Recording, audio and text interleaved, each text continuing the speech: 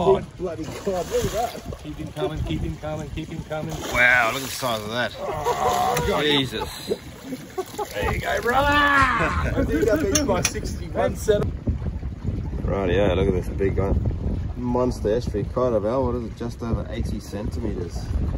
What absolute cracker. So we're gonna let it go now. It's- can't keep a beautiful big fish like that. Hole in the water for a second, Alan, and this thing will be really strong still.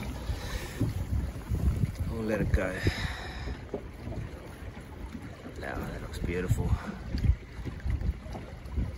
That thing will go straight back to where it where it came from. All right.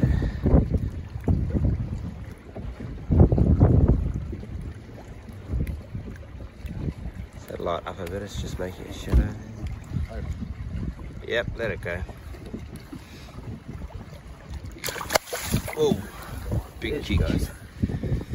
How was that, mate? Awesome. Well done.